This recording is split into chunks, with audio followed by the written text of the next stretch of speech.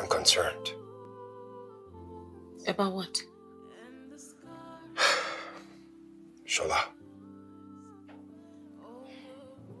Don't get me wrong. He's a cool guy.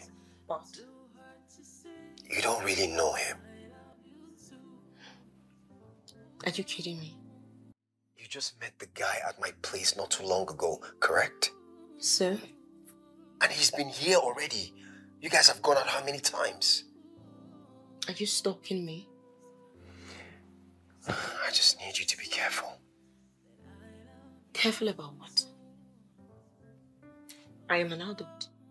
You and I are not dating.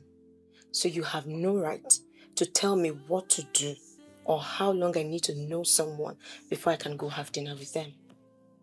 Most so, didn't I also see you with another lady? It's different. How so?